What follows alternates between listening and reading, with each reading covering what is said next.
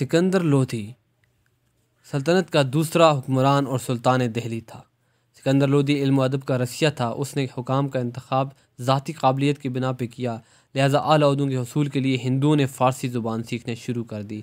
वह काबिल अक्लमंद और आदिल बादशाह था। सूफिया कराम का ख़ास अदब करता, अपने लिए मुरातब न लेता। बादशाह होने के बावजूद आम घोड़े पर सवारी करता और सादगी इख्तियार करता। सखावत उसकी आदत थी और मतानत मजाज का हिस्सा। दिल्ली लोधियों का गढ़ रहा। लोधी गार्डन दिल्ली में मदफून हुआ। उसका मकबरा उसके बेटे इब्राहिम लोधी ने तामीर करवाया। उसने अवाम के मफाद के लिए बहुत से काम किए। अपने अहद हुकूमत में सुल्तान ने इस्लाम की तरवीज के लिए बहुत सी खदमात सर अंजाम दी। इसके अलावा सुल्तान सिकंदर लोधी ने पंद्रह सौ चार में आगरा की बुनियाद रखी और इस शहर को दारकूमत बनाया।